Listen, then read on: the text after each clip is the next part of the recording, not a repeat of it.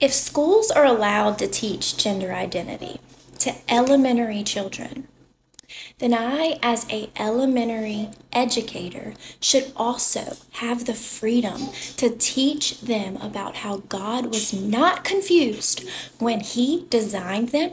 I should be able to teach them about Jesus and how God created them, a boy or a girl, on purpose and for a purpose.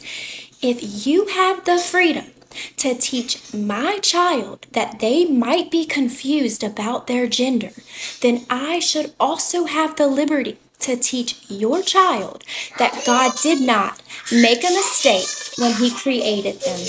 I think it's time we even out the playing ground.